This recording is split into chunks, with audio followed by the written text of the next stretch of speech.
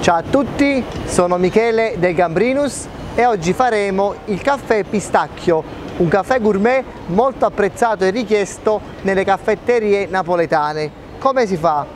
Ovviamente l'ingrediente base è il caffè che noi abbiamo fatto con la moca. Ricordate sempre che il caffè, guardate che bel caffè, guardate la cremina che si è formata in superficie.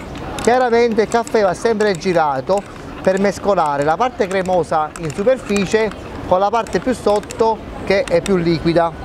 Fatto questo versiamo il caffè all'interno di un bicchierino di vetro, così.